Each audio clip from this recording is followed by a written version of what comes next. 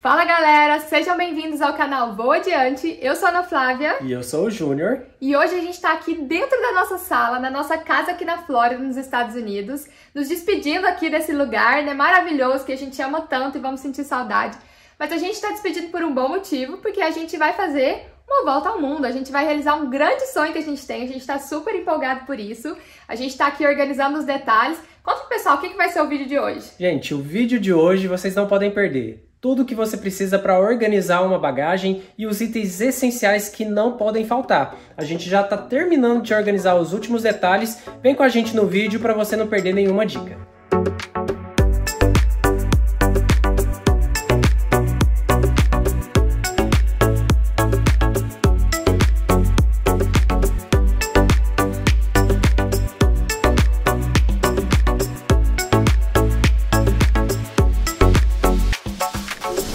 Galera, já estamos arrumando as malas, né?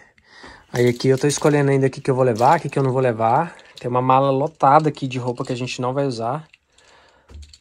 Olha isso aqui.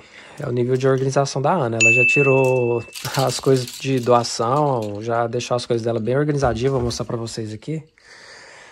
Olha aí. Ela já deixou tudo organizado, as partes dela aqui, ó. Já tem algumas coisas dentro da mala. Ah, uma dica pra vocês. Seguinte, ó.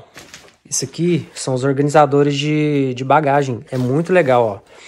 Isso aqui você coloca várias peças dentro de uma só, dá para organizar dentro da mala. Fica bem mais compacto, né? Tem várias peças, tá vendo? Aí tem alguns aí que eles vendem de três peças, de cinco peças. É uma dica aí, né, para vocês. Tô terminando de arrumar aqui ainda, né? Esse aqui era o, nosso quarto.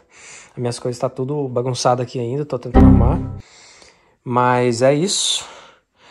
É, eu não sou muito fã de arrumar mala, não.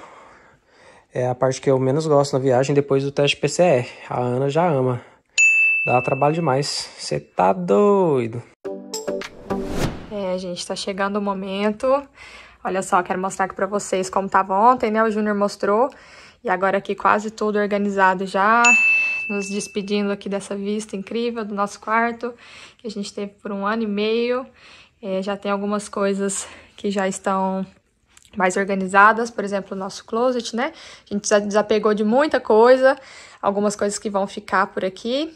É, e também as malas, que agora já estão bem mais organizadas do que ontem. O Júnior comentou a dica sobre os organizadores, que facilita bastante, é bem prático para deixar as coisas organizadinhas na mala.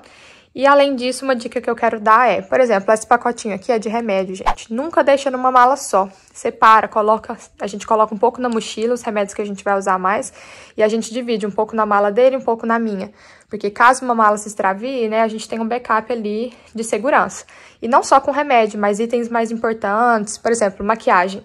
Eu não coloco todas as minhas maquiagens ou necessaire tudo numa mala só. A gente divide metade necessaire ali, metade aqui pra gente sempre ter uma, uma segurança a mais. Então, fica a dica. E, ah, uma outra dica legal também de bagagem é isso daqui, ó. Esses, essas embalagens a vácuo, elas são super úteis para você diminuir o espaço, né? Para você poder otimizar mais a sua mala. Então, para colocar blusa de frio ou peças mais grossas, é super, super útil. Galera, uma dica muito útil para quem tem notebook e leva nas viagens, assim como eu e a Ana, porque a gente trabalha enquanto a gente está viajando, né? É uma mala de mão como essa aqui, ó. Vou mostrar para vocês que ela tem um compartimento específico para notebook.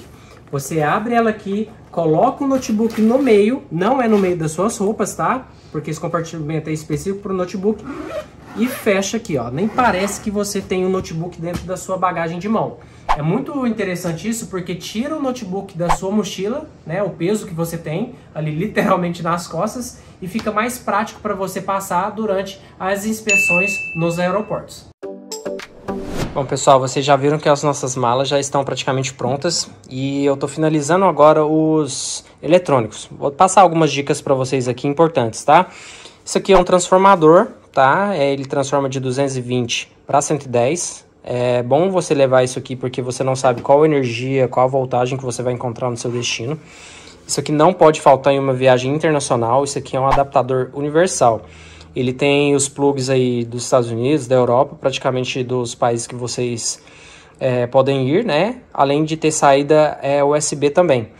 É, nós temos aí HDs externos para você colocar é, as suas fotos, seus vídeos né, no computador. Carregador portátil, isso aqui não pode faltar. Você não quer ficar sem bateria, né? No momento que você precisa contactar alguém ou tirar uma foto, legal. Uma caixinha de som, né? Pra gente ter, colocar uma música. É, nós temos isso aqui também, um adaptador de computador, né? No caso, esse aqui é de USB-C para USB. Ele dá para você acessar cartão de memória, colocar HDMI se você quiser conectar o seu computador ah, em uma televisão e também tem entrada de internet. É, uma das dicas mais importantes agora é essa aqui, ó. Isso aqui é uma balança portátil. Essa aqui que eu comprei, ela pesa até 50 quilos, ou seja, as malas, né, dá pra gente pesar tranquilamente. Você amarra essa cordinha aqui em uma das alças da mala e levanta com a mão. Então, com essa, com essa balancinha portátil, você vai conseguir aí saber qual que é o peso da sua bagagem para encaixar aí dentro do que a companhia aérea exige, né? Qual é o limite dessa bagagem. A gente tem alguns tripés para colocar celulares ou, ou, máquina fotográfica, umas lanterninhas, porque vai saber, né? E a dica final são exatamente os organizadores. Vocês já viram que a gente tem organizador para bagagem, né? Que a gente vai despachar.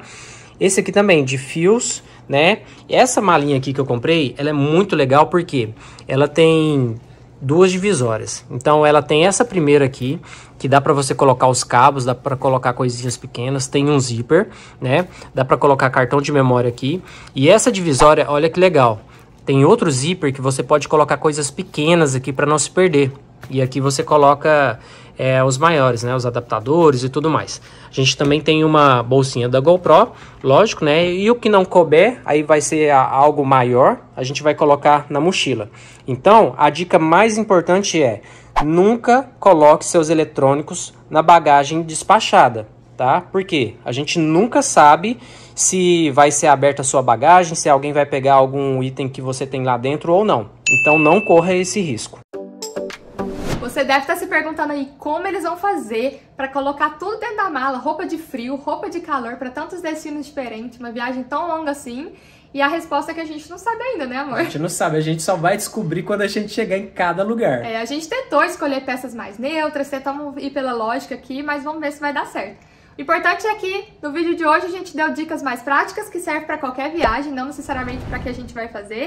Espero que vocês tenham gostado, né? É, e se você gostou, já deixa um like, se inscreva no canal, ativa o sininho também e nos siga no Instagram, no TikTok e no Facebook, porque vem muito mais coisa legal por aí. Essa jornada está só começando. É isso aí, pessoal. Até a próxima. Tchau, tchau.